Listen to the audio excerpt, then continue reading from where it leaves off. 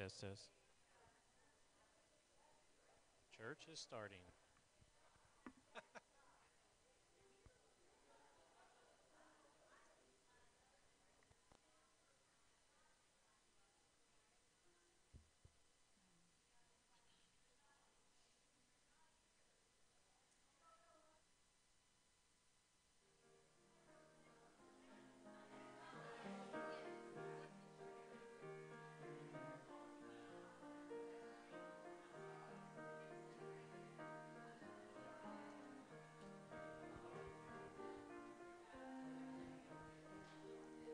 Welcome, everyone. If you please rise, we'll sing When the Roll is Called Up Yonder.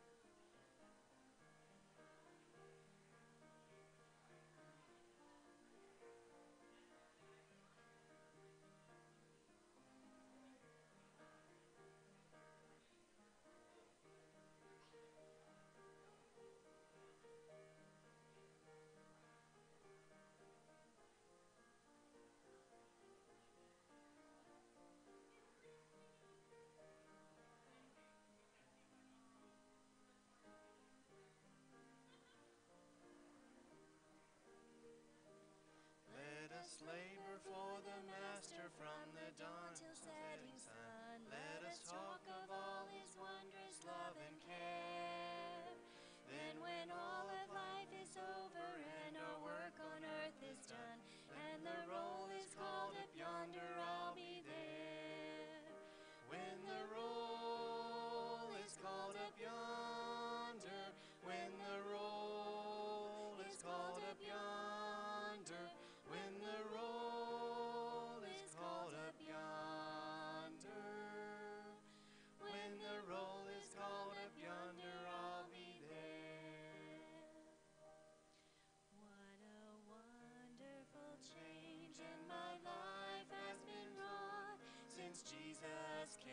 Into my heart. I have light in my soul, for which long I have sought, since Jesus came into my heart. Since Jesus came into my heart, since Jesus came into my heart, floods of joy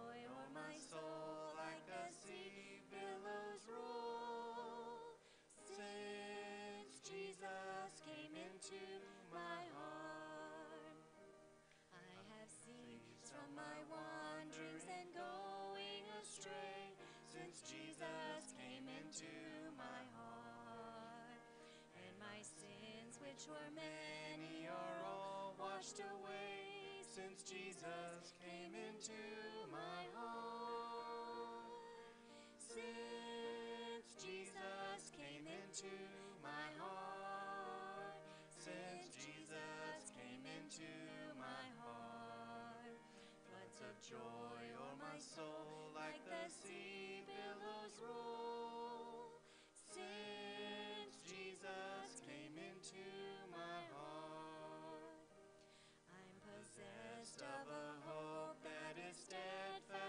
Sure. Since Jesus came into my heart, and no dark clouds of doubt now my pathway obscure. Since Jesus came into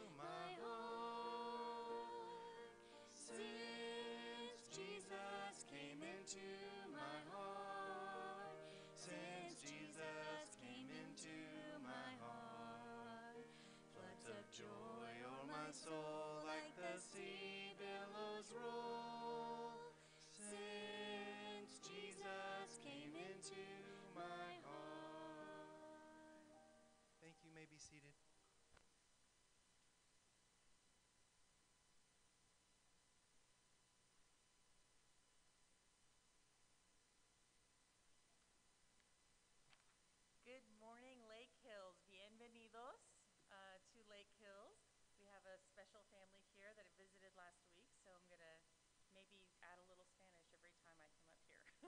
so, um, all right, well, let's get to announcements. Number one, check this out. We have our Lake Hills t-shirts that have come in. and I know quite, I know, thank you. Yeah. Now, what's really great about these t-shirts is they're also part of our Regal Ambassadors family. There's a gentleman who um, started making these for his church, and so now he does this for all of the Free Will Baptist churches that ask him, I suppose. So these were actually made by families. Where, where are they, Martha? In the Houston area. So that we kept it in the family, which is kind of nice. They're really nice, really soft. So if you didn't order one, it's okay. We did order some extras. They are ten dollars a piece. Just see Marcia if you'd like a T-shirt. And um, this is really important for VBS. We're wanting um, all of our staff and volunteers to use one of these T-shirts. It will really help newcomers know who to speak to when they're here during VBS. So it'd be great to, to wear that. I love it. It's really soft and beautiful. Thank you for doing that, Marcia. So, um, okay, so church directory updates. I know that we've been slowly putting this together and people are asking about our directory. So just so that you know, today is the very last day. Of course, you can give us your information at any time, but if you want to be in the church directory that we will be putting out very soon, uh, actually this summer, then please get your information in today. So get that slip of paper, put it in the offering plate, and we'll make sure to update the database, and we're going to produce that by the end of this summer. Um, also, just a reminder that on Wednesday, el miércoles, at 6 o'clock, we will have dinner. Um, and then we'll have our Bible study at 7 o'clock. So la cena es a las 6 y el estudio de Biblia a, las 7 de, de la tarde. Also, um, next, uh, not this coming uh, Wednesday, but the following Wednesday on the 10th, we will have a church-wide business meeting. So this will be a great opportunity to find out the financial standing of the church and what's going on with the church, any changes and updates. I'm sorry? Oh, we forgot about that. We forgot that, yeah, so the following Wednesday after VBS. So what, what date would that be? The 17th, okay, on the 17th, we'll have our church-wide uh, business meeting in place of a, of a service on Wednesday night. And on, uh, on the 10th, I'm sorry, on Communion Sunday, July the 7th is actually coming up. So again, we'll have, on Communion Sunday, we'll have our brunch at 10 in the morning, and then we will have com- uh, our communion service at 11 a.m. And I've got this a little mixed up. Now, in order to prepare for VBS next week, I cannot believe it's not this coming week, but the following week. By the way, we have over 50 kids registered for VBS. Yeah. Also want to let you know that many of those kids are return families, but so many new people called or emailed us because of the new sign in front of the church. So that's really not, not just the signs that Pastor West put out, but also our uh, new electronic signs. So that's been really, really helpful. So we're really excited. Yeah, so excited about that sign. Um, we're getting a lot of inquiries about our church. I guess we don't look as sleepy because we've got this active sign uh, that people drive by and see. So, so grateful to the individuals who we actually had. Um, Pastor West can probably mention their name, but we had a company that actually donated that stone.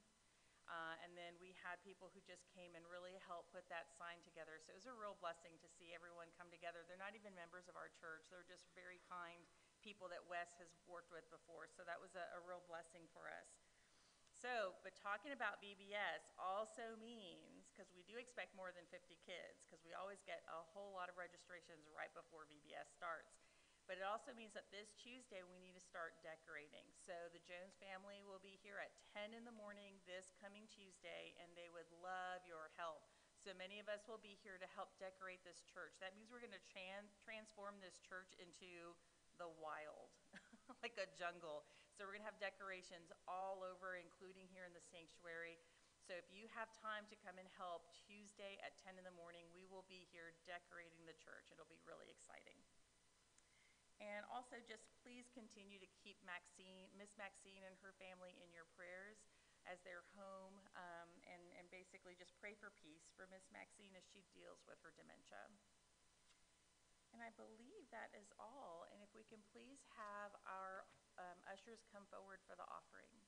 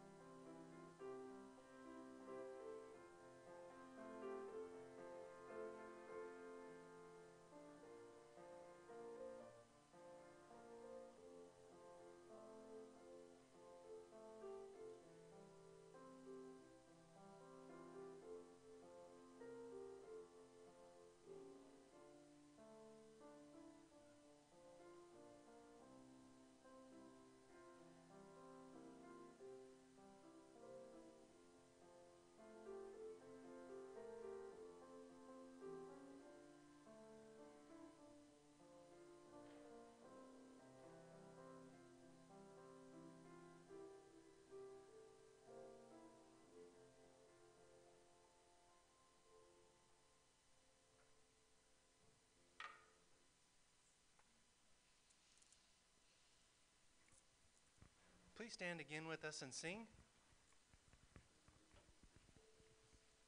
Got to recognize the first verse of this one at least. See about the rest.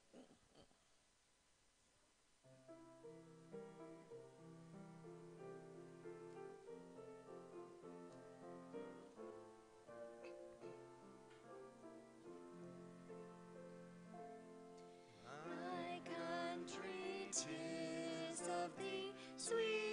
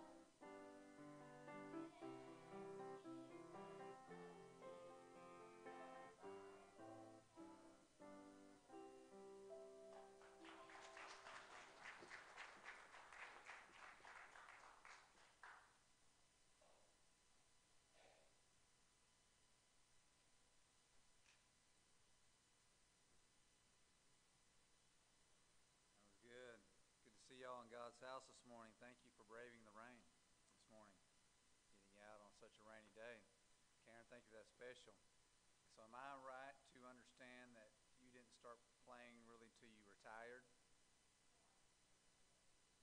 Eight years old, okay. She got she got a degree in piano after you retired. You went back to college, so that's wonderful.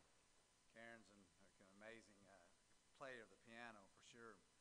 Uh, this morning, I wanted for us to look at Habakkuk for a few minutes, and uh, Habakkuk chapter 1 and a little bit into chapter 2.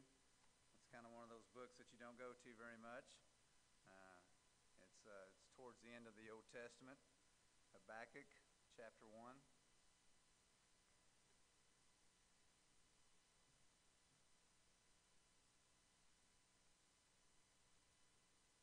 Habakkuk chapter 1, and we'll begin reading in verse 12. Verse 12, the Word of God says, Art thou not from everlasting, O Lord, my God, mine Holy One? We shall not die, O Lord. Thou hast ordained them for judgment, and, Almighty God, thou hast established them for correction. Thou art of purer eyes than to behold evil, and canst not look on iniquity. Wherefore lookest thou upon them that deal treacherously, and holdest thy tongue when the wicked devoureth a man that is more righteous than he?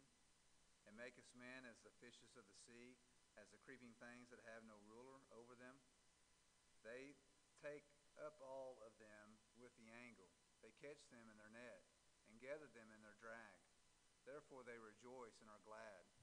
Therefore they sacrifice unto their net, and burn incense unto their drag, because by them their portion is fat, and their meat plenteous. Shall they therefore empty their net, and not spare continually to slay the nations? Chapter 2 I will stand upon my watch, and set me upon the tower, and will watch to see what he will say unto me, and what I shall answer when I am reproved. The Lord answered me and said, Write the vision, and make it plain upon tables, that he may run that readeth it.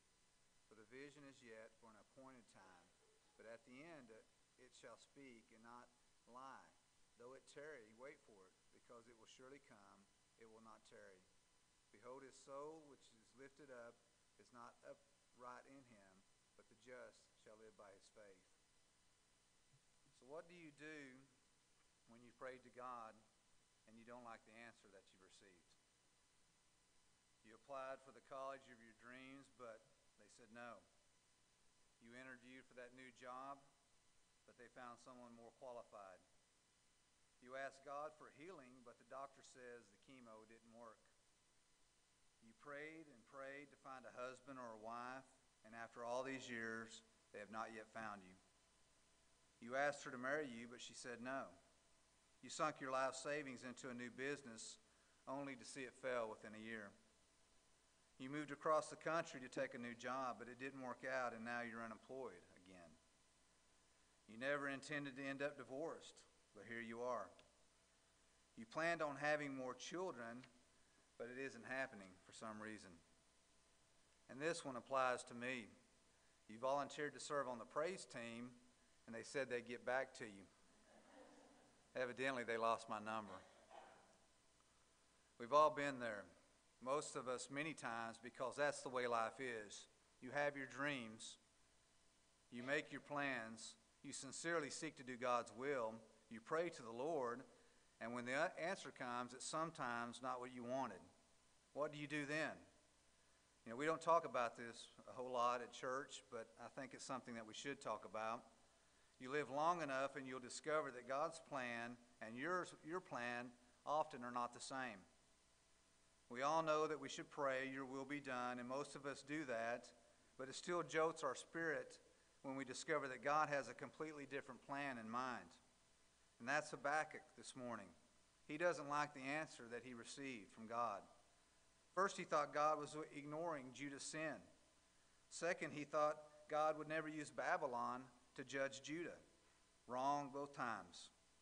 What do you do when God doesn't live up to your expectations? How do you respond when the Lord's answer isn't what you wanted? Habakkuk was troubled by something that troubles a lot of us. He couldn't reconcile his view of God with the injustices that he saw all around him in the world.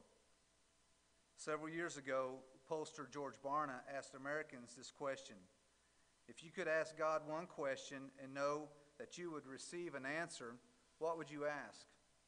By far, the number one response was, Why is there pain and suffering in the world? That makes sense because we see suffering all around us, and we wonder why God allows it. C.S. Lewis said that the problem of suffering is atheism's greatest weapon against the Christian faith. Why did that tornado land here and not there? Why was this girl kidnapped and that one escaped? Why would God allow a child to be born with a disability? Why are Christians being tortured and killed around the world? The list of questions seem endless. When we consider the sadness we see all around us, we can sit around and offer commentary all we want, but at some point we've got to deal with God. And that brings us back to the book of Habakkuk. Written in approximately 605 BC, this is a story of one man who wrestled with God about the hard questions. In three short chapters, it's a very short book, Habakkuk brings us face to face with the deepest mysteries of life. Here's a simple outline of the book if you plan to read it or study it maybe this week. A simple outline you could use of the book of Habakkuk. Chapter 1 is faith tested. Chapter 2 is faith taught. Chapter 3 is faith triumphant. But when we read this book, maybe the most striking thing is the change that takes place inside of Habakkuk by the time you get to the end of chapter 3. In three chapters, he moves from fear to faith, from burden to blessing, from perplexity to praise, from confusion to confidence, and from worry to worship. It all boils down to this one fact the Babylonians are coming, and you can't stop them. When they reach Jerusalem, they will conquer it and they will eventually destroy it. God says, I am using them to judge Judah for her sins. So when Habakkuk heard this, he objected. He said, God, how can you do this? And that's the key of the book. It's the dialogue between a frustrated man of faith and a God whose ways he cannot understand. We could frame the book this way The issue is not Judah and her sin, the issue is not Babylon and its evil, the issue is not Habakkuk's doubts, the issue is God. And we will all end up there eventually. All of our questions lead back to God because he, because he is the one in whom we have to deal with. All the issues lead us back to the one who sits on the throne of the universe. And so, in the last half of Habakkuk chapter 1 that we read here, the prophet has three questions for God. After asking those questions, he will make a decision that shapes everything else in the rest of the book. The first question that Habakkuk asks God is, Who are you? Verse 12 says, Art thou not from everlasting, O Lord my God, mine Holy One? We shall not die, O Lord. Thou hast ordained them for judgment, and Almighty God, thou hast established them for correction. So, what do you do when, when God makes no sense? Either you walk away from your faith or you remind yourself of who God is. Sometimes what we need is a good dose of theology to strengthen our faith. When faced with the news that the hated Babylonians would soon invade Judah and nothing could stop them, Habakkuk goes back to what theologians call the first principles. Look at what he calls God in this passage Everlasting, you are sovereign. Lord, you are the personal God of Israel.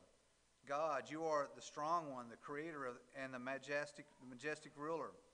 Holy, you are in a class by yourself and set apart from sin. These are not small points. As Habakkuk tries to get his mind around the shocking truth that God is about to use Babylon to judge Judah, he goes back to what he knows to be true about God. And this is a vital first step for all of us. Look at it this way if you remove God's sovereignty, you will forever question his wisdom. If you remove God's loyal love, you will forever question his faithfulness. If you remove God's majesty, you will forever question his power. If you remove God's holiness, you will forever question his fairness. And if you remove God's protection, you will forever question his goodness. As we look around at the world, many, uh, many things are mysterious to us, and many things uh, are unanswerable. But if there is no God, and if he is not good, then nothing at all makes sense. I have chosen to believe in God because I must believe. I have no other choice. I have learned that my only confidence is in God and God alone. So we need to do what Habakkuk did in this verse when we are faced with mysteries that we cannot explain. We need to go back to the first principles of life that God is good, God is holy, God is just, God knows all things, God is love, God makes no mistakes, the Bible is true, Jesus Christ is the Son of God. Jesus died on the cross and rose from the dead. He ascended into heaven. Someday he will return to this earth. The Holy Spirit is real. I am sealed with the Spirit. God is always with me. All things work together for my good and God's glory. God will complete his work in me. And just writing these sentences as I was preparing for this message brought faith to my heart. And that's what I mean by going back to the first principles, like Habakkuk did. There's a Nigerian chant between the pastor and the congregation that goes like this The pastor says, God is good. The congregation says, all the time. The pastor says, and all the time. The congregation says, God is good. Maybe we should stop right now and, and do these words out loud. Y'all want to do it? Okay, I'll say God is good. You say all the time. I'll say all the time and all the time. And you say God is good. Ready? God is good. All and all the time? Amen. And that's exactly what Habakkuk did here in verse 12. Despite his confusion, he's giving a testimony to his own faith in God. And that leads us to the second question that he has for God. And question number two is, how can you do this? Verse 13 says, Thou art of pure eyes than to behold evil, and canst not look on iniquity. Wherefore lookest thou upon them that deal treacherously, and holdest thy tongue when the wicked devoureth a man that is more righteous than he? Here we reach the heart of the problem that Habakkuk has. Uh, we all understand that there are moral inequities in the universe. We say that into each life some rain must fall, but it seems like some people get only a sprinkle while others live with a torrential downpour of trouble. How do we explain this? Habakkuk's problem has stemmed from seeming, seeming conflict in God. He cannot, if he cannot tolerate sin or wrongdoing, then how could he use the Babylonians to judge Judah? Babylon's sins were terrible. They were much more uh, and far greater than the sins of Judah. Is, is this not a contradiction? Well, the answer is no, because there are no contradictions with the Almighty. But it is true that he does things that sometimes seem inconsistent. Uh, but his, his ways are, are not our ways. His thoughts are not our thoughts, the Bible says. God's ways will not always make sense to us. We simply don't know why things happen the way they do. Sometimes we find out later. Sometimes we never find out. Sometimes we will, sometimes we might have to wait till we get to heaven to find out. And I think every person wrestles with this at some point. Eventually, we are forced back to the first law of the spiritual life He's God, and we're not. I've used that illustration before, this illustration of uh, the football movie Rudy, and some of you have seen it, I'm sure. I like that movie. Uh, but uh, in, in, the movie, Rudy goes to the priest, and he asks him, he's prayed over and over again uh, about getting into Notre Dame, and asked God to get him into Notre Dame. And he asked the priest why God's not answering his prayers. The priest said, All these years in the, in the priesthood, that I've spent in the priesthood, two things I've come to know that there's a God and I ain't him. And that's with us too. He's God and we're not. And so God is sovereign, we are not. Every mistake we make comes from the, the, the fact that we forget that, that He is God and we're not. And it's good for all of us to remember Psalm 115.3 that says, But our God is in the heavens. He hath done, uh, done whatsoever He hath pleased. So He does what He thinks is right, what pleases him, and not us. And so at this point, God has not answered Habakkuk's question. Uh, that will come in the next chapter. For the moment, let me simply say that any answer must go back to the truth that God is God and we are not. And until we grasp that, we will continually struggle with the Lord. Question number three How long will this last? Verse 17 says, Shall they therefore empty their net and not spare continually to slay the nations? The they in this verse refers to King Nebuchadnezzar and the Babylonian army. They refer to him as one person. So he keeps on conquering one nation after another. and no one can stop him. If he sees a city, he takes it. If he wants what you have, he takes it. If he captures you, he's probably going to kill you. To him, men are like fish, and he's got the net. He keeps reeling in one nation after another. And guess who he's fishing for now? Judah. In the face of this evil, Habakkuk wonders when it will all end. Will no one stop Babylon? Will their reign of terror go on forever? Who can stand in their way? And this touches the deepest question I think that we have when life crumbles in around us. How long will this last? You know, most people can stand up under trouble if they know that it will eventually come to an end. But what if it never ends? How will we survive? So there you have Habakkuk's three questions. Who are you, Lord? To which Habakkuk gives his own answer. He goes back to those first principles of, of uh, the faith. How can you do this for which no answer is given? And how long will this last, last for which no answer is given? These are all honest questions, the kind that we all ask in times of trouble. We should note that Habakkuk is an honest man who, when he has doubts, does not hesitate to tell them to the Lord. He doesn't cover up his doubts here, and he doesn't give glib answers. He answers the only question he can answer, and he waits on God to answer the other two. He's confident in God, but confused by what God is doing in the world. He's a believing man with serious questions that he cannot answer. So what now? Habakkuk 2:1 tells us what he decides to do. It says, "I will stand upon my watch and set me upon the tower, and will watch to see what he will say unto me, and what I shall answer when I am reproved." Some translations use the phrase watchtower or guard post. There alone he would watch and wait for God's answer to come. Habakkuk did not know how the Lord would answer or how long he would have to wait.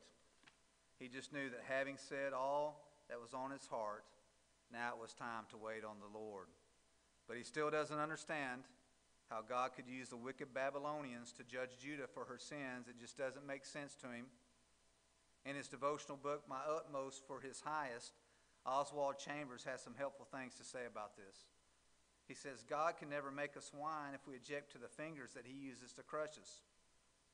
If God would only use His own fingers to make me broken bread and poured out wine in a special way, but when He uses someone whom we dislike or some set of circumstances to which uh, he, we said we would never submit, then we object. We must never choose the scene of our own martyrdom. If ever we're going to be made wine to drink, we will have to be crushed. We cannot drink grapes. Grapes become wine only when they have been squeezed. He goes on to say that if we fight against the Lord's plan for us, any wine that is produced in us will be bitter and undrinkable. We have to be placed into God and brought into agreement with Him before we can be broken bread in His hands. And I think that's great advice that He gives, but how hard it is in practice, especially when we object, object to the fingers that God uses to crush us. And that's exactly where Habakkuk is at this moment. He doesn't like that God's using these Babylonian fingers to crush Judah.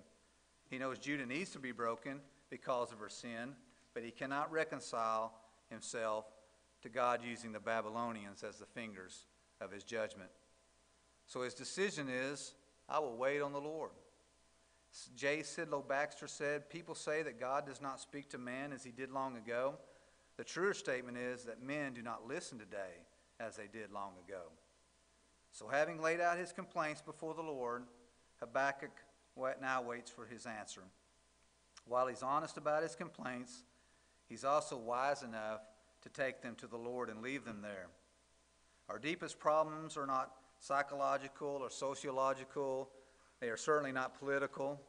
Our deepest problems are always theological. What kind of God do we believe in? And as I was thinking about that, two things came to my mind. He's not the God we think He is, He's much better than that.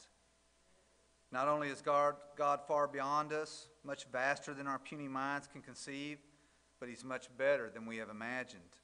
God's ways are better, God's heart is better, God's thoughts are better, and God's plan is better.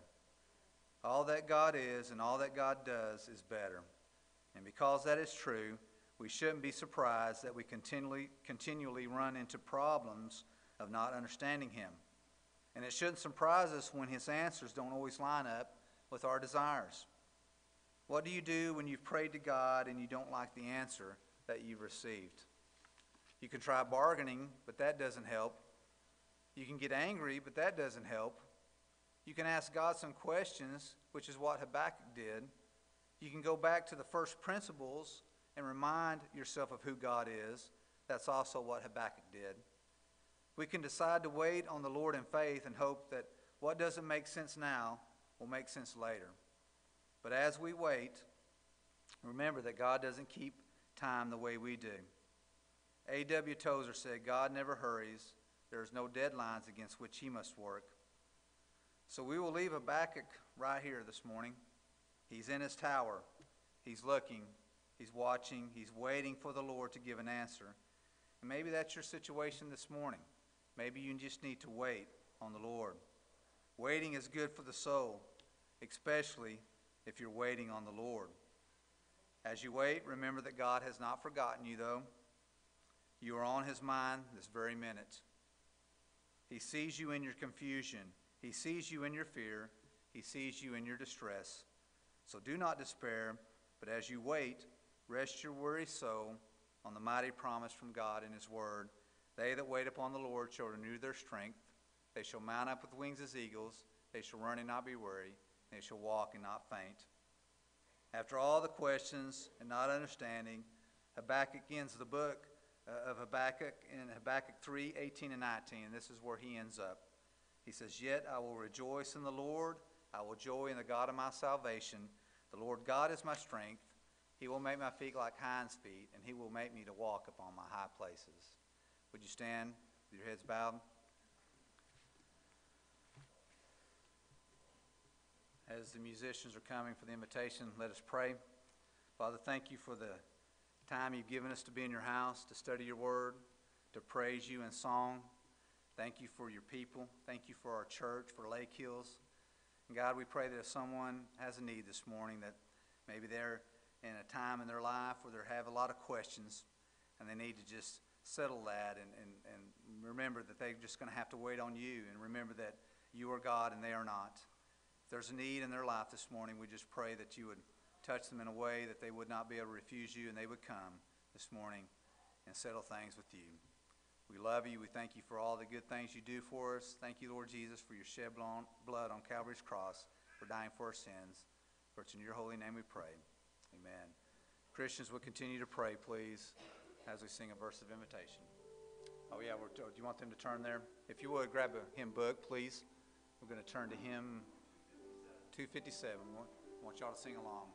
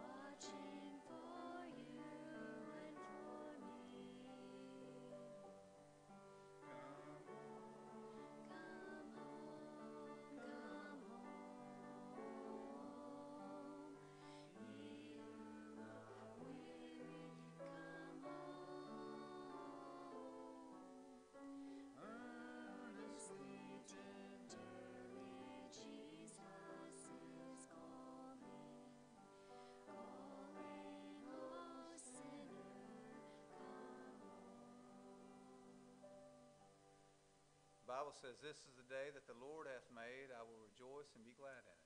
I hope you're rejoicing this morning and praising God for this great day that He's given us uh, to come to His house.